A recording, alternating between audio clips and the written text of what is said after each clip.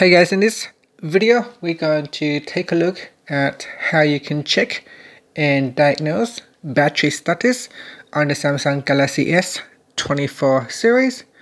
First, tap on the home button to return back to the home screen.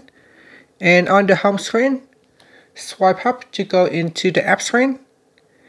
Then tap on the Samsung folder.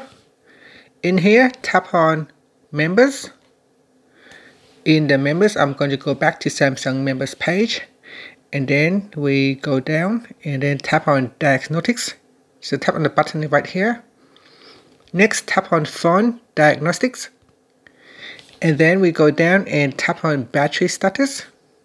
Here the phone will quickly check your battery life and at the top here it will give you an indicator if your battery life is normal or defect.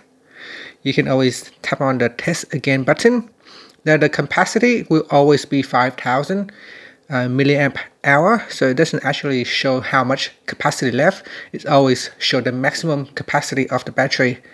Uh, but at the top here it will show the battery status whether it's normal that means the battery is still in good condition or if it's defect. And that's it. After that you can tap on the home button to go back to the home screen. Thank you for watching this video. Please like and subscribe to my channel for more videos.